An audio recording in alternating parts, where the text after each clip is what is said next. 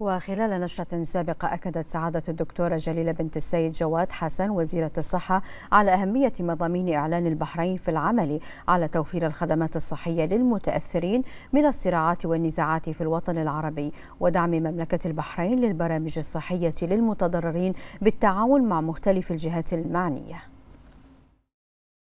انتهز هاي الفرصة للإشادة بما تضمنته كلمة سيدي حضرة صاحب الجلالة الملك حمد بن عيسى آل خليفة لمضامين نبيلة وخصوصا من خلال إعلان جلالته أيده الله تقدم مملكة البحرين بعدد من المبادرات للإسهام في خدمة القضايا الجوهرية لاستقرار المنطقة وتنميتها واللي جاء من بينها مبادرة خاصة بتوفير الخدمات التعليمية والصحية للمتأثرين من الصراعات والنزاعات في المنطقة. مبادرات قمة في البحرين تأكد دعم مملكة البحرين للبرامج الصحية وللخدمات المقدمة للمتضررين من الأزمات والنزاعات والحروب. الأمر اللي يشكل خطوة مهمة في هاي الاتجاه.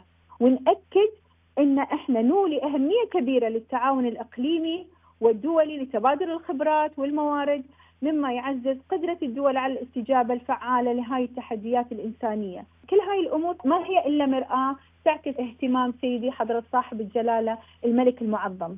وفيما يتعلق بالمتأثرين من الصراعات والنزاعات نعمل بشكل حثيث بالتنسيق والتعاون مع الجهات المعنية على ضمان إيصال هذه الخدمات الصحية الأساسية والمتخصصة اللي تلبي احتياجات هاي الفئة وإحنا على ثقة بأن هاي الجهود بتسهم في تعزيز الرعاية الصحية الشاملة والعادلة.